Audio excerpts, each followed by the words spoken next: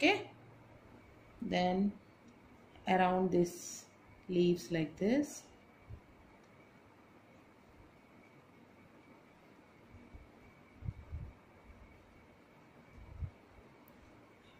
Yes, you're correct, children. What is this?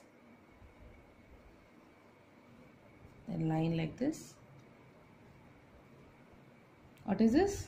Then dotted line inside this here.